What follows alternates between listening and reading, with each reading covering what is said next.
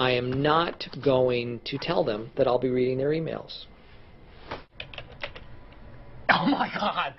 Wow! Email from Stanley. Stanley, terribly nice guy.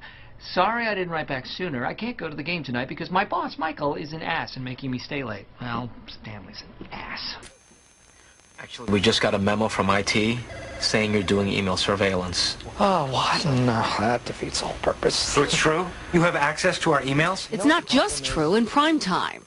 Come on, baby. Something Lindsay Wilson learned the hard way. Fired after using her work email to send out a resume. I've sent personal emails in the past and never been once questioned about it. So I was very angry and, and hurt. Wilson's boss was reading her emails, and yours may be doing it too. I gotta erase a lot of stuff. A lot of stuff.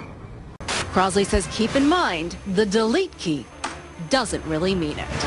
Email is essentially permanent. It never goes away. When people hear the term Big Brother, they immediately think it's scary or bad, but I don't. I think, wow, I love my Big Brother. In the event that an employee is terminated for something that he or she sends over a company computer, do they have any recourse, any legal recourse whatsoever? You know, unfortunately, it's tough for the employees. The courts are not siding with them on this issue. They're finding that businesses are justified in trying to protect these uh, company secrets and protecting their workplace, and that the employee's right to privacy just doesn't outweigh that interest.